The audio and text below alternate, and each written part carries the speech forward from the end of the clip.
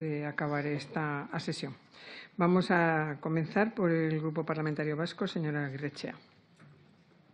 Gracias, eh, señora presidenta. Señor ministro, muy brevemente, en un principio agradecerle el tono y su, su, planteamiento, porque no es el mismo que el de la portavoz de su grupo parlamentario, que evidentemente le ha gustado mucho que el informe PISA último eh, haya tenido los resultados que ha tenido Euskadi, cosa que en el caso de Euskadi lo tomamos con naturalidad, porque hasta ahora estábamos en un nivel tan alto que el poco que se ha bajado ha generado una sensación de alivio a algunos que nunca han participado en nada positivo en el sistema educativo vasco. Por lo tanto, decirle que es algo que nosotros lo asumimos con autocrítica y con capacidad de eh, mejora, que es lo que se hace en los sistemas que funcionan. Porque es un sistema decidido por la comunidad educativa vasca en su conjunto, padres, alumnos, centros, gobierno, etcétera, etcétera, porque es una comunidad que exige ese tipo de educación. Segundo, el tema de la alta inspección. Eh, la pregunta es, los cambios que se están planteando, ¿para qué? El tema cuando se está diciendo aquí el tema de la alta inspección, claro que el Estatuto la Constitución dice y todo eso, ya sé lo que dice y lo que deja de decir, pero también lo ha dicho el ministro, las comunidades autónomas son las primeras que tienen. Algunos quieren saltarse eso porque como no les gusta cómo lo están haciendo las comunidades autónomas, no que lo hagan bien o lo hagan mal, no, no les gusta cómo lo hacen. Entonces recurren al gran hermano del Estado, que es el que debe de salvar las vidas de los pobres alumnos que están siendo, de alguna manera, eh, machacados, o no sé cómo definirlo, según le digo. Y por eso tiene que venir el Estado porque algunos entienden la descentralización, y con esto acabo, como que las comunidades autónomas ejecuten las políticas educativas que se deciden en Madrid, que es donde se debe decidir. Y no, en nuestro caso por lo menos, y con la especificidad que nos da, no es que el Gobierno vasco ejecuta las políticas educativas decididas en el Ministerio de Educación, no. El Gobierno vasco ejecuta las políticas educativas decididas en el Parlamento vasco y por el Gobierno vasco que en ese momento esté que en este caso está el del PNV, estuvo el del Partido Socialista también, etcétera, etcétera. Esa es la diferencia.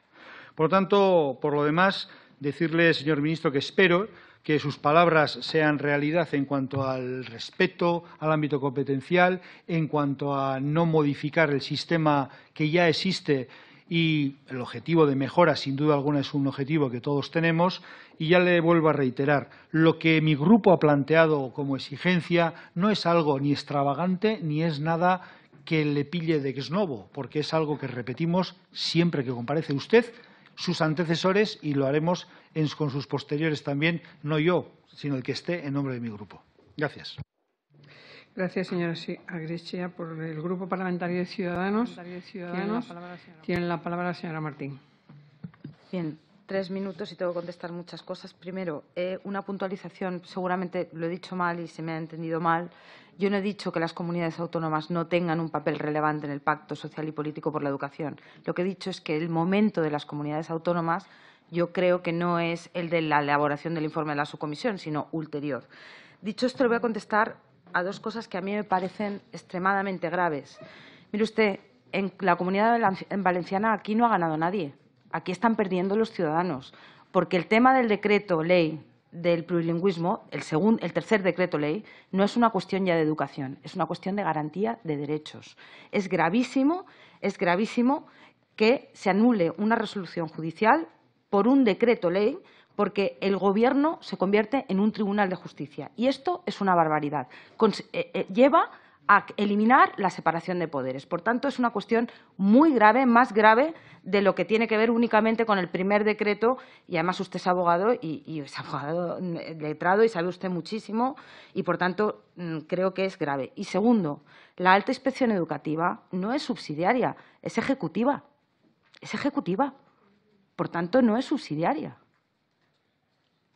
Entonces, mm, aquí se ha hablado de la policía, no, es algo que está contemplado en la LOE, en la LONCE, son funciones ejecutivas, no tiene nada que ver con una policía, tiene que ver con la garantía de los derechos de todos los españoles y tiene que ver con la igualdad educativa. Y no tiene nada que ver con que nos guste o no nos guste cómo se hacen las comunidades autónomas, tiene que ver con garantizar que se respetan todos los derechos de los niños y de las niñas de este país. No tengo nada más que decir.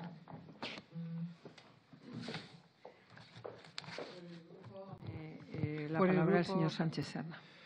Pues gracias, señora presidenta, señor ministro. También agradecerle a usted eh, bueno, pues su tono jovial y siempre campechano. una puntualización quería hacerle yo también. Eh, no es una cuestión de confianza personal que este grupo no, no confía en usted, es una cuestión de confianza, de confianza política.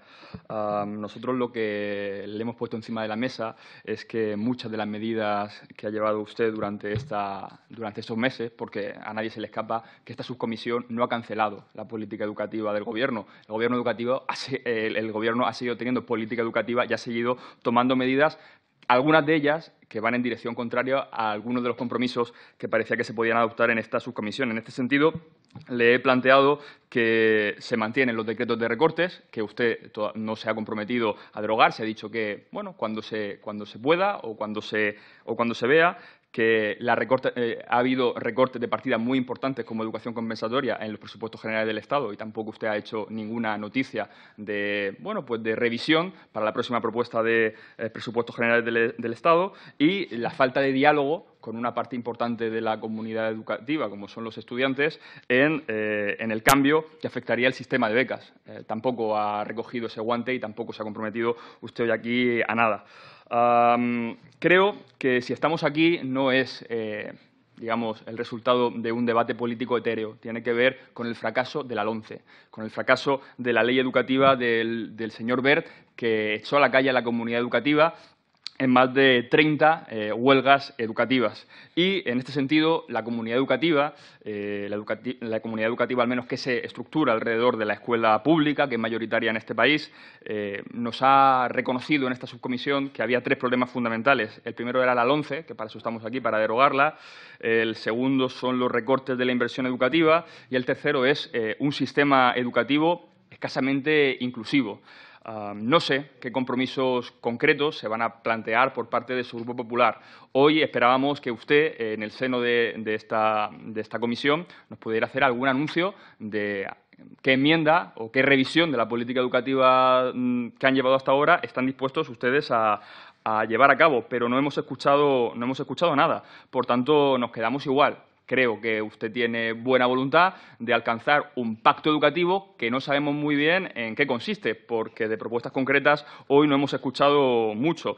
Yo lo que sí que le tengo que adelantar es que al Grupo Confederal de Unidos Podemos no le sirve cualquier pacto educativo, ni a cualquier cosa se le puede llamar pacto educativo, sino que un pacto educativo tiene que afrontar al menos afrontar, luego ya veremos a dónde se llega, los problemas estructurales que tiene nuestro sistema educativo y sin meterle mano a la infrafinanciación, sin meterle mano a la debilidad en la que está la red educativa pública, que es la que más eh, ha sufrido los recortes durante estos años. Y, también, eh, bueno, pues reforzar y acabar con la precariedad de nuestro profesorado, eh, algo que se llame pacto educativo sin afrontar estos tres temas va a quedar muy devaluado. A lo sumo se podrá hablar de acuerdos puntuales, pero esperábamos un poco más de altura y un poco más de compromisos fuertes para algo que se pueda llamar pacto educativo. Muchas gracias. Gracias, señor Sánchez eh, eh, Serna. Por el la palabra la señora Martínez Eijo.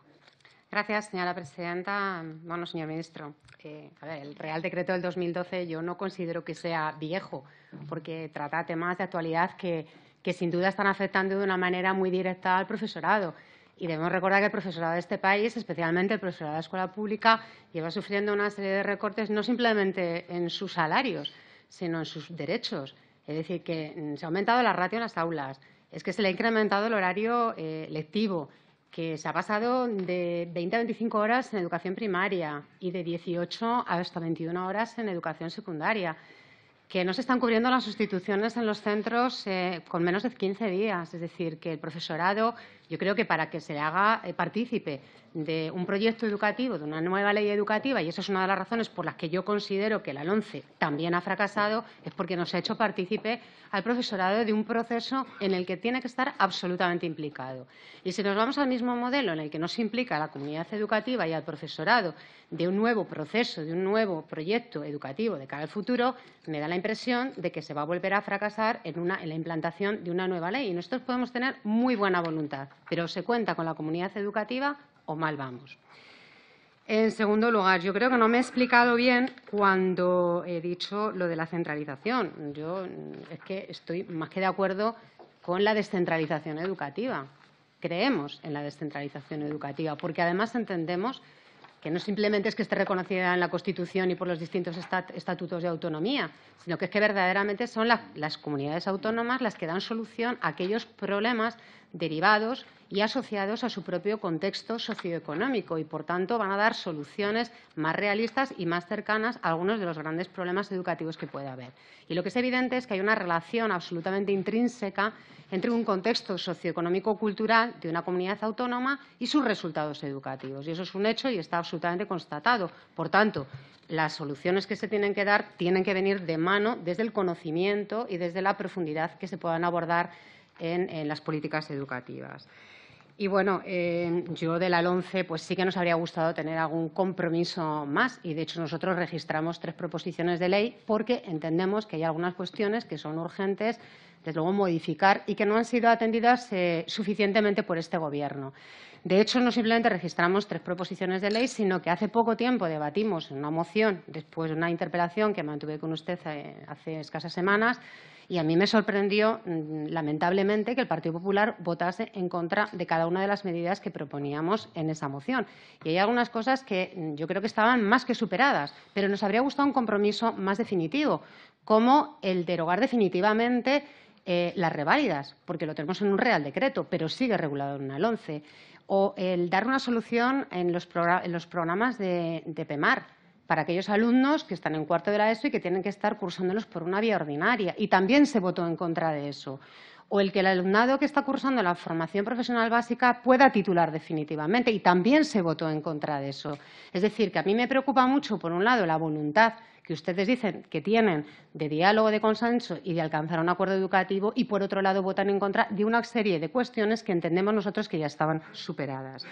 Y, finalmente, también eh, me preocupa eh, que bueno que usted eh, ha alabado las políticas económicas del señor Montoro, pero es que hace escasos días nos hemos encontrado con un anuncio del 3,8% eh, de financiación en educación por parte del señor Montoro, al que usted admira tanto. Y, por otro lado, nos cuesta mucho ver que esto verdaderamente tenga ese compromiso de financiación para salir adelante cuando vemos que no hay un compromiso de una cifra, porque lo único que vemos es un compromiso de una cifra, pero siempre a la baja. ¿no? Por tanto, desde luego, voluntad, yo veo que usted la tiene, eh, nosotros también, pero sí que queríamos tener algún compromiso más claro y definitivo para eh, tener más esperanza en que esto verdaderamente pueda acabar en un acuerdo o en un pacto educativo que verdaderamente resuelva algunos de los problemas que tenemos en la educación española y, desde luego, avanzar hacia unos estándares de máxima calidad, que es lo que pretendemos eh, para la educación española desde este grupo. Muchas gracias, señora Martínez Seijo, por el Grupo Parlamentario Popular. Gracias, señora presidenta. Señor ministro, eh, señora Aguirrechea, la verdad es que, en fin, eh, no creo que mis palabras hayan podido eh, ofenderle. Mira, a mí no me gusta lo que está ocurriendo en el País Vasco, entre otras razones porque yo he tenido la suerte de nacer a un kilómetro y medio de lo que ustedes llaman País Vasco o Euskadi. Y no creo que los padres tampoco estén contentos con que el sistema educativo esté descendiendo en calidad. Los padres no han elegido que el sistema educativo esté descendiendo en calidad. Ustedes, con cierta humildad, que es lo que yo le pedía, debieran reflexionar sobre a qué están dedicando su tiempo y sus recursos en vez de a mejorar la calidad de uno de los sistemas educativos que efectivamente ha tenido mejores resultados, pero que está siendo superado con creces incluso por comunidades autónomas que tienen también, como ustedes, lengua, lengua cooficial. Eh, en relación al, tema que ha planteado el portavoz de Podemos, bien, eh, el decreto del 2012 está ya parcialmente eh, sustituido o derogado, como ustedes quieran decirlo. se han cambiado los ratios alumnos por aula, la tasa de reposición ha sido del 100% en los presupuestos generales del Estado del pasado año, se ha incrementado la oferta pública, las sustituciones, etcétera. Bueno, yo creo que todos estamos de acuerdo y se ha debatido en esta Cámara que el decreto del 2012 responde a una situación determinada y a un momento determinado. Y que, evidentemente, cuando hablamos de recursos y hablamos de pacto presupuestario, tendremos que abordar esta situación. Qué duda cabe. Pero, como les decía antes, tendremos que abordar, sobre todo, cuáles son las prioridades y los elementos que pueden mejorar la calidad del sistema educativo y a qué tenemos que dedicar los recursos. Y finalizo, señora presidenta, con, con una cuestión. Mire, efectivamente, yo creo que debiéramos hacer una reflexión todos los grupos en relación al momento que estamos viviendo y a la lealtad que debemos tener eh, en conjunto. Y esto eh, eh, quizá no tiene nada que ver con la propia comparecencia o con, con, el Gobierno, por supuesto. Vamos a ver, efectivamente, llevamos nueve meses trabajando en el llamado Pacto de Estado por la Educación. Creo que las relaciones han sido no solo cordiales, sino han sido absolutamente colaborativas. Tenemos un material extraordinario sobre el que trabajar y es cierto también que se han presentado iniciativas paralelas que cambian sustancialmente los modelos educativos al margen del pacto, por diferentes grupos. Algunas se han quedado dormidas y otras se han debatido. En fin, nosotros la pasada semana presentamos una proposición no de ley relativa a las, reforzar las eh, competencias de la alta inspección, porque efectivamente es preciso, a nuestro juicio, si solicitamos al Gobierno que tome determinadas medidas, reforzar esas, eh, esas, competencias de la alta inspección. Pero nosotros estamos dispuestos a debatirlo en el marco del pacto, que es donde creemos que se tiene que debatir. Es un marco, buscar un marco de consenso sobre un tema sustancial que no puede ser partidario ni partidista, porque estamos hablando de las competencias del Estado y las comunidades autónomas. Y si eso no tiene que ser marco de un acuerdo a nivel nacional, díganme ustedes de qué estamos hablando en esto. Esto y otras tantas cuestiones. Por lo tanto, en fin, yo, eh, dentro de las legítimas aspiraciones que cada grupo puede tener, que por supuesto efectivamente respetamos, yo llamo un poco a la lealtad ¿eh? entre todos para que podamos eh, ya trabajar sobre propuestas concretas. Eh, efectivamente, los grupos están trabajando, hay un índice sobre el que tenemos eh, que, discutir y no intentemos, en fin, adelantar de forma pues, muchas veces pues, poco leal, la verdad. Muchísimas gracias. Gracias, señora Moneo.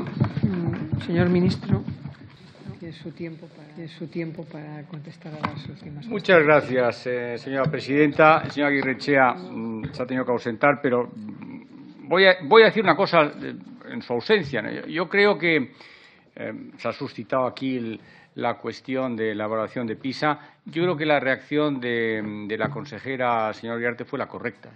No fue decir oiga, no, esto no, está bien hecho, no nos afecta, sino fue decir, oiga, pues vamos a tomar nota y vamos a ver qué podemos hacer, qué hemos hecho mal y cómo vamos a mejorarlo. Pero es que yo creo que esa es la correcta siempre. Si es que, oiga, si nosotros no somos, somos personas, no somos robots, nos equivocamos, ¿qué tenemos que hacer? Pues cuando vemos que los resultados eh, que perseguimos pues no los, obtenemos, no los obtenemos, lo más creo yo, la, la, posición errónea es la del avestruz, de meter la cabeza en la tierra, no quiero saber nada. No, insisto, la consejera Uriarte yo creo, que, yo creo que hizo bien y inicia una reflexión. Pero eso es lo que tenemos que hacer eh, y para eso sirve mm, este debate parlamentario que se va a extender a lo largo de un año sirve para hablar de estas cosas y sirve para hablarlas sin arrojárnoslas a la cara, sino decir, oiga, eh, ¿qué es lo que nos interesa para el futuro, a la vista de la experiencia, a la vista de estos años? Si al final pretendemos, y yo me he referido a ello en mi intervención, eh, si al final pretendemos que ese pacto traducido en una nueva normativa dure muchos años, y yo creo que eso es positivo, yo creo que eso tiene un consenso amplio en esta comisión, eh, pues tendremos, tendremos que, que, evalu que, evaluar, analizar y valorar los cambios que queremos introducir. El caso de la alta inspección, pues que tiene, tiene mucho sentido. Eh, la señora Moneo, yo, yo he presentado una, una, proposición, pero oiga, la quiero debatir aquí en el pacto, pues es lógico. Pero eh, esconderse y decir, mire usted, yo no veo que aquí haya un problema. Y, descalificarlo, muchas veces, cuando las palabras tienen en sí mucha fuerza, ¿no?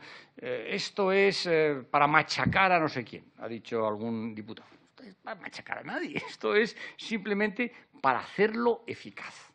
Es decir, si a mí me preguntan ustedes, yo les reitero lo que he dicho en el Pleno y digo ya aquí, que el, ministro de Educación eh, tiene pocas capacidades en este ámbito, las tiene limitadas por la ley. yo me plantearía si el ministro de Educación, sea del partido que sea en el futuro, y no pensando en una situación particular de este momento, sino para el futuro, si no debería tener más. Que son, señora Martín, subsidiarias, aunque sean ejecutivas, pero son subsidiarias. Yo lo que primero que tengo que hacer, o a menos que vea un delito, o sea, un delito pues lo pongo en conocimiento de la Fiscalía, pero yo tengo que dirigirme al consejero de Educación de la comunidad autónoma correspondiente, decirle, oiga, me dicen esto, hay estas denuncias, investigue usted. Y primero le mando una carta de colaboración, es que es lo que me obliga la ley. Eh, yo no me puedo saltar la ley, a una carta de colaboración y si no, no obtengo una respuesta satisfactoria, a un requerimiento. Y en tercer lugar, acudo a los tribunales al amparo del artículo 43 de la Ley de Jurisdicción Administrativa. Bueno, pues esa es la situación hoy. Oiga, ¿hay que cambiar eso? ¿Conviene cambiar eso? Yo creo que sí, pero, pero, pero oiga, esto es un tema que no es, insisto, para una situación concreta, esto no es para hacer eh, un titular hoy, sino es para planteárselo para el futuro. Y creo que es bueno que lo pensemos, que, haya un debate y que al final se llegue a una solución sin que nadie deba interpretar. Pero esto no está pensado en una comunidad autónoma cualquiera, sin que nadie deba interpretar que hay un intento de, provocar algún tipo de actitud del Ministerio en esa materia. ¿no? A mí me parece que, les doy, les doy mi opinión, nacida de la experiencia de estos años y de nada más. Es decir, yo lo haría. Yo le reitero lo que he dicho antes respecto al decreto ley. Ah, yo creo que el decreto ley, señoría, revierte al decreto del 2012, es impepinable, lo dice el artículo 2.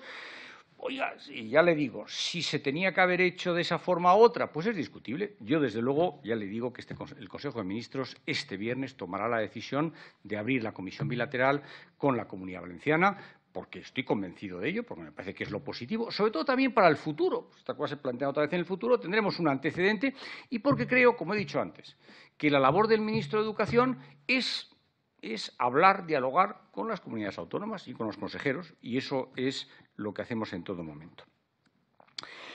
Em, bueno, señor Sánchez Serna, no, yo ya sé que la confianza política, ya sé que no es nada personal, por supuesto, ¿no?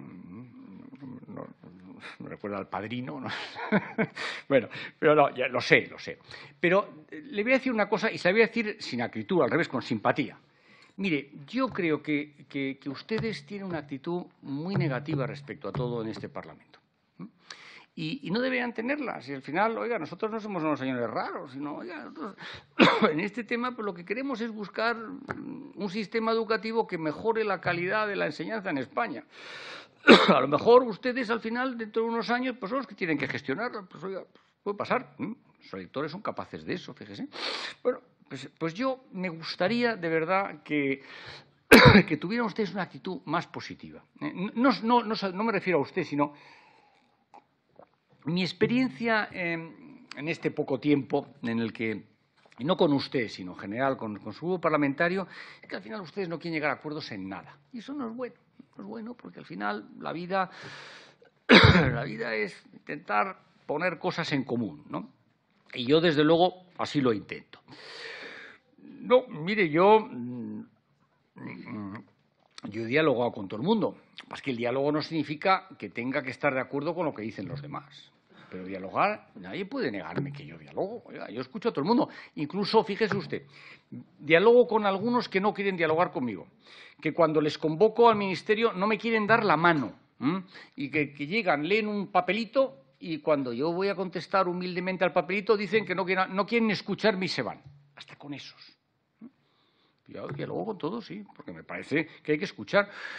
y, muchas veces pues las cosas necesitan un cierto tiempo para reposar. Y yo creo que, esa política, que es la que lleva el Ministerio, vamos a continuar con ella. Ahora, eh, el hecho de no atender las posiciones de quien sea, de la comunidad educativa, no significa que no haya diálogo, es que significa que no estamos de acuerdo. Pero bueno, oiga, mm, yo se abre camino, ¿no? se abre camino. Señor Martínez Ejo, queda claro la centralización. Yo la había, habíamos, la entendido mal, efectivamente, eh, queda claro. Eh, a ver, por supuesto, si al final, si el pacto no cuenta con el apoyo, y el apoyo significa la participación, eh, el estar involucrado desde el principio de la comunidad educativa, al final esto ni usted ni yo ni nadie lo queremos. Está claro, ¿no? Pero también nosotros tenemos, ustedes tienen una responsabilidad. Al final, ustedes son los que votan, los que toman las decisiones, y cuando acabe todo este proceso, cuando haya, si lo hay, yo espero que lo haya, una ley, la votarán ustedes. Por lo tanto, Habrá que sentar a la comunidad, educativa a lo largo de ese proceso. Yo me he comprometido a hacerlo. ¿eh? Lo he hecho aquí ante ustedes, lo haré en esa fase que antes llamábamos fase 2. Me parece que es absolutamente capital. Mire usted, oiga, em, esperaba escuchar alguna cosa más. Oiga, a mí en los 40 minutos o 38 minutos que he hablado, pues me parece que he dicho muchas cosas, pero en fin, me ha dicho usted, no ha dicho usted que hay que derogar las revalidas. Bueno, es que yo creo que no hay que derogar las evaluaciones, eso me ha parecido también muy claro. Yo, creo que hay que evaluar. ¿Cómo lo hagamos? Oiga, eso es discutible. Pero su, su grupo parlamentario está a favor de las evaluaciones. De las evaluaciones. Ah, pero es que la revalida esto es una cosa que ustedes utilizan políticamente, de las evaluaciones. a favor de las evaluaciones, es que no estar a favor de las evaluaciones no tiene ningún sentido, pues en la vida no se evalúan todos los días a todos. Yo estoy seguro que usted también está a favor de las evaluaciones. ¿Cómo las hacemos? Bien. ese es el objeto del pacto. Ese es el objeto del pacto, el cómo las hacemos. Oiga, yo he aprendido mucho en estos años. ¿eh? Mi, eh, al principio yo dije que yo venía aquí a aprender y alguien me dijo, ah, aquí hay que venir aprendido. Pues no, señor, yo he aprendido muchas cosas de cómo hay que hacer estas cosas y, creo además, creo además que usted que ha seguido muy atentamente los acuerdos de nuestros grupos parlamentarios sabe que, en el decreto ley yo fui más allá de lo que del acuerdo de la investidura parlamentaria. ¿Por qué? Bueno, porque las comunidades autónomas me hicieron recapacitar en algún tema respecto a la evaluación de sexto de primaria. Bueno, pues sí, pues, pues, está bien. A mí no me cuesta nada, lo reconozco mm, con total normalidad. O sea que, yo creo que ahí lo haremos. Hay otros temas que usted ha hablado bueno, que son, usted me ha hablado de ellos, eh, PEMAR, FP básica, bien, vamos a ver cómo lo modificamos. Eh, yo ya le he dicho que es que algunas cosas requieren un cambio legislativo y, bueno, la situación es la que es en estos momentos. ¿eh? Algunas requieren cambio legislativo, es la que es. pero en fin, yo he tomado buena nota y ahí está. Respecto al, acuerdo presupuestario, eh, usted, yo creo que ese acuerdo presupuestario estará en función de la ambición del contenido del pacto. Y estará sobre todo en función de que nosotros mismos, o ustedes, ustedes que serán los artesanos del mismo, eh, digan, oiga, eh, esto lo queremos para tantos años, con este objetivo, y para esto lo evaluamos y necesitamos esto. Y todos los años el presupuesto deberá contener un aumento de tanto. Vea, yo no estoy en condiciones en estos momentos. Yo sería un frívolo si les dijera a ustedes vamos a aumentar lo que sea. sería un frívolo si hiciera eso. Pero está en sus manos. Si, si son ustedes al final, todos ustedes los que van a ser protagonistas de esto, son ustedes los que tienen, en función de la ambición, que ponerlo y la ventaja que tiene, y eso es lo que yo quiero, lo que yo quiero poner énfasis, la ventaja que tiene es que quedará ahí y si al final no se puede modificar sino por mayoría supercualificada, el gobierno que venga, el siguiente y el otro estarán obligados a cumplirlo. Pero si es que eso, forma parte de, yo creo que, de la ambición intrínseca del pacto. Por tanto, yo no le puedo dar una cifra, pero sí creo que tiene bastante sentido político el hacerlo de esa manera. Eh, señora Moneo, me alegra, ya se lo he dicho antes, decir, bueno, eh, ustedes han presentado su grupo parlamentario una proposición de ley, pero dentro del pacto. Pues es lo que hay que hacer. Y además eso probablemente, referida a la inspección, yo creo que centrará mejor las cosas, porque es que creo que muchas respuestas que tenemos que darlas hay que darlas pensando en el futuro, no en el cuarto de hora presente, pensándola en el futuro. Y creo que cuando estamos haciendo un pacto tenemos esa voluntad de perseverar en el tiempo, de permanecer en el tiempo y no de resolver problemas coyunturales. Por tanto, le felicito por lo que ha dicho. Y respecto al decreto ley 14 2012, y espero que mm, el señor portavoz del Grupo Podemos haya tomado nota, porque es verdad que siempre me habla del decreto 14 2012, ya le digo lo que ha sido revertido, pero, pero en fin, no tengo mucho éxito y me voy a contar en la siguiente. Usted ha hecho una exposición de aquellos puntos que han sido revertidos y así es. Y el más importante de todos es el tema de la tasa de reposición.